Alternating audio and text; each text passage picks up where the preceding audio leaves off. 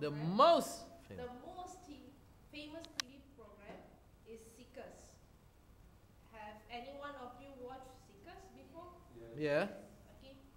This is a program where they will go to a haunted place and uh, they will try to capture ghost images and all that on camera. But uh, so far, I've But- never- but so far I've never seen any evidence.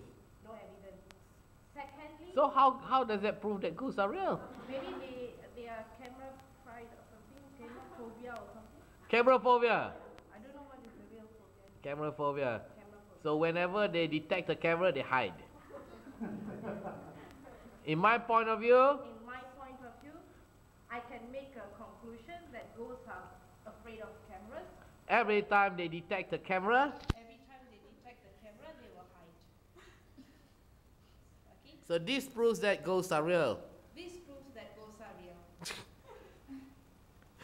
Okay, number two. Number two, there are a lot of devices. There are lots. There are a lot of devices invented to capture ghost uh, electromagnetic waves, and uh, according to the TV program, that the ghosts can be detected to a different kind of body temperature. It seems uh, they are more warmer than normal human beings. Warm, not colder. I think it's warm because it's kind of red light, Red light.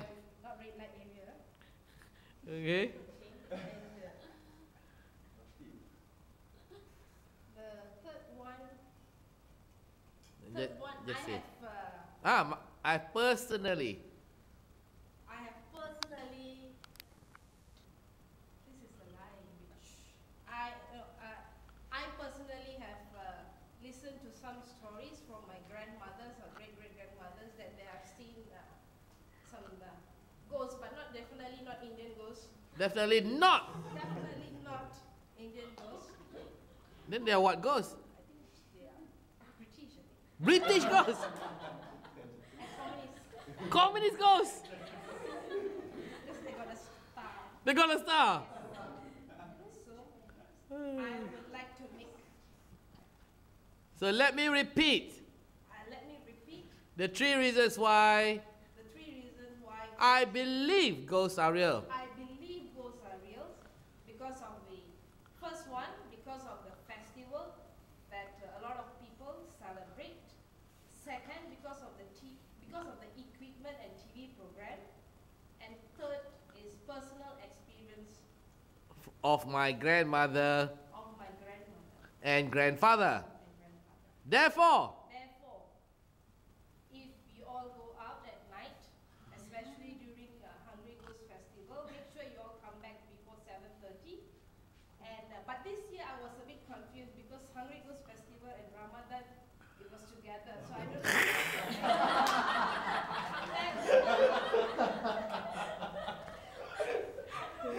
So I was puzzled for the whole month. And I was back home. Because the Ramadan say no ghosts, Yeah, but the hungry ghost say got ghosts. go go. yeah. That's all. Yeah, yeah, yeah. There, there were there were several flags planted in front of my in front of my house. Yeah.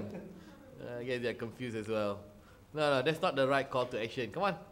Therefore, ladies and gentlemen, Therefore, ladies and gentlemen, I urge all of you I urge all of you to, to believe to believe that ghosts do exist and uh, be careful when you're going out uh, during midnight or after midnight.